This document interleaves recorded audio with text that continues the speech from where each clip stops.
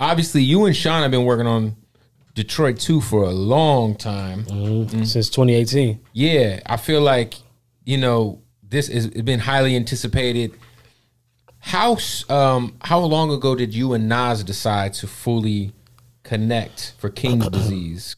It's crazy because like like you said, we, we was working on Sean album for a minute. Uh, we was already in a groove with that. So I was just, you know, from talking to him every day, working on his records and listening to records that wasn't mine, but that he was gonna put on the album because I'm executive producing it.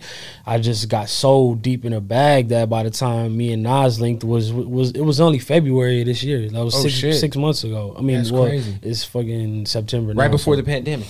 Right before the pandemic. That's what's crazy about King's disease. People think it's like, oh, they they took the COVID shit, but we we could thought of King's disease before this shit cracked off. Before we was all in the house, before all the corona, all that. So um, yeah, we we we connected in February and just did a record and we just kept doing songs and before we looked up we had an album and it didn't even take long to get the base of it like maybe a couple weeks max Wow.